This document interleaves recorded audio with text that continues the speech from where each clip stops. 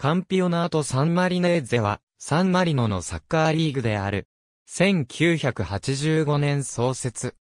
最初の1985から86シーズンのみ、通常のリーグシステムで実施されたが、1986から87シーズンから1995から96シーズンまでの間は昇格、降格制度を有するセリエ A1 とセリエ A2 の2レベルから構成されていた。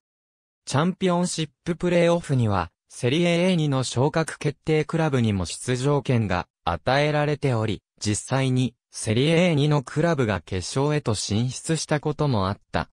1996から97シーズンからは、上下の関係にはない、ジローネ A とジローネ B の2つのグループに分割された。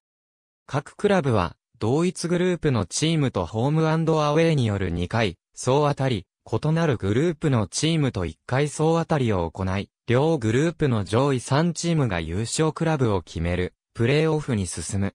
優勝クラブには、UEFA チャンピオンズリーグ予選ラウンドの出場権が与えられる。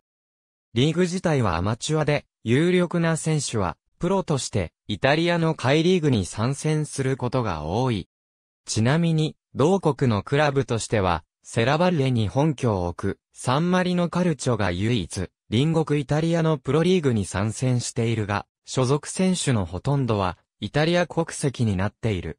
サンマリノ、リストオブチャンピオン。RSSSF、2009年9月11日、閲覧。ありがとうございます。